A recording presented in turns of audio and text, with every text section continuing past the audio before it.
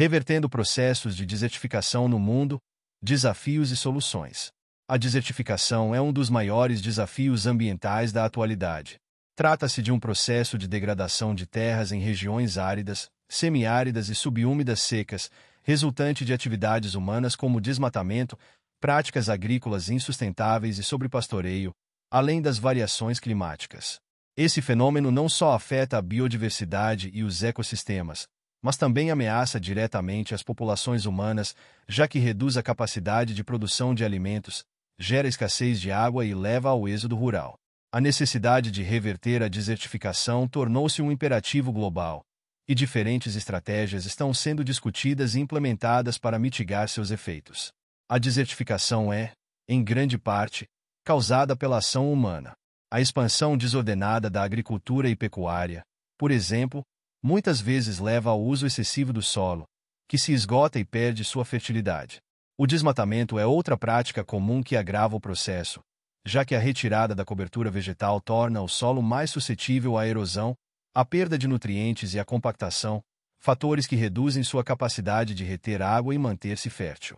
No entanto, é possível reverter essa situação por meio de práticas de manejo sustentável do solo e da água, além de políticas públicas voltadas para a restauração de ecossistemas degradados. Uma das estratégias mais eficazes para combater a desertificação é a recuperação de áreas degradadas por meio do reflorestamento e da restauração de ecossistemas. O plantio de árvores nativas e a reintrodução de vegetação adequada para as condições climáticas locais são fundamentais para a estabilização do solo, a recuperação da biodiversidade e a melhoria da capacidade de retenção de água. No Brasil, Iniciativas como o projeto de reflorestamento da Caatinga e a recuperação de áreas degradadas no Cerrado são exemplos de como essa técnica pode ser aplicada com sucesso. Além de frear a desertificação, o reflorestamento tem o potencial de capturar carbono da atmosfera, contribuindo para a mitigação das mudanças climáticas. O manejo sustentável da água é outra peça-chave na reversão da desertificação. Em regiões áridas e semiáridas, a escassez de água é um problema crônico, e o uso inadequado desse recurso agrava a degradação do solo. Técnicas de irrigação eficiente, como a irrigação por gotejamento, podem reduzir o consumo de água e melhorar a produtividade agrícola sem esgotar os recursos hídricos. A construção de barragens e cisternas para o armazenamento de água da chuva também tem sido uma solução eficaz para garantir a disponibilidade de água durante os períodos de seca prolongada, como ocorre no Nordeste brasileiro. Além disso, práticas agrícolas sustentáveis são fundamentais para reverter os processos de desertificação. A agroecologia, que integra o conhecimento tradicional com práticas agrícolas modernas, busca utilizar os recursos naturais de maneira equilibrada e respeitosa com o meio ambiente. Um exemplo de técnica agroecológica é o uso de sistemas agroflorestais, que combinam o cultivo de árvores com culturas agrícolas, promovendo a biodiversidade, melhorando a qualidade do solo e aumentando a resiliência das plantações em face das mudanças climáticas. Essa abordagem tem se mostrado eficaz em diversas regiões do mundo, onde a desertificação era antes uma ameaça iminente. Outro aspecto importante para combater a desertificação é a conscientização das comunidades locais. Muitas vezes, as populações que vivem em áreas afetadas pela desertificação desconhecem os fatores que contribuem para o problema e as soluções disponíveis.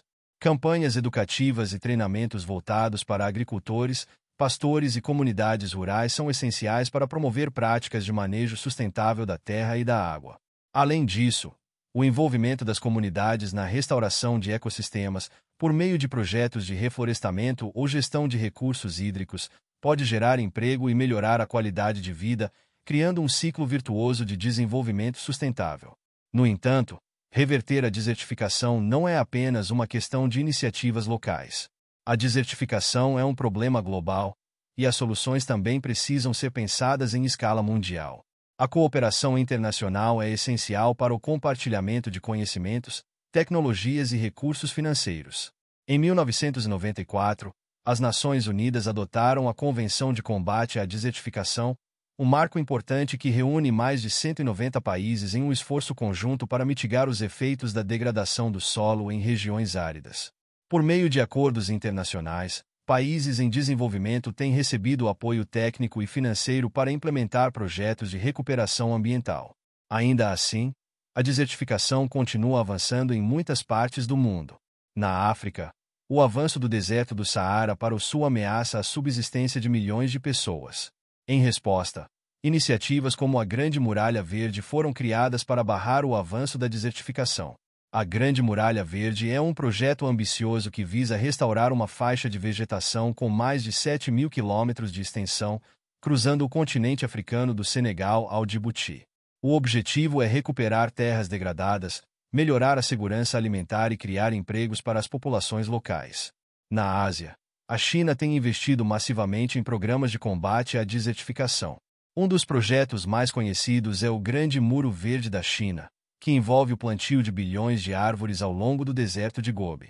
Embora tenha enfrentado críticas quanto à escolha inadequada de espécies e à manutenção dos plantios, o projeto representa uma tentativa significativa de barrar o avanço dos desertos e restaurar áreas degradadas. A experiência chinesa mostra que, embora projetos de grande escala sejam desafiadores, eles podem servir de exemplo para outras nações que enfrentam problemas similares. A desertificação não afeta apenas o meio ambiente, mas também tem implicações sociais e econômicas. Em muitas regiões do mundo, a degradação do solo leva ao abandono de terras agrícolas, o que resulta em migração forçada e aumento da pobreza. Esse êxodo rural pode pressionar as áreas urbanas, criando desafios adicionais em termos de habitação, emprego e infraestrutura. Portanto, a reversão da desertificação não é apenas uma questão ambiental, mas também uma questão de justiça social. Investir em práticas que revertam a degradação do solo e promovam o desenvolvimento sustentável é crucial para garantir a estabilidade social e econômica das regiões afetadas. Para que os esforços de reversão da desertificação sejam bem-sucedidos, é fundamental que governos, empresas e organizações não governamentais atuem em conjunto. Políticas públicas devem incentivar o uso sustentável da terra, enquanto o setor privado pode contribuir com inovações tecnológicas que melhorem a eficiência dos processos agrícolas e de recuperação ambiental. Por sua vez, as organizações da sociedade civil desempenham um papel importante na promoção da conscientização e no engajamento das comunidades locais. Em suma, reverter a desertificação no mundo exige uma combinação de esforços locais e globais, envolvendo desde a adoção de práticas agrícolas sustentáveis até grandes projetos de restauração ambiental. A conscientização da população, o manejo adequado dos recursos naturais e a cooperação internacional são elementos essenciais para alcançar esse objetivo.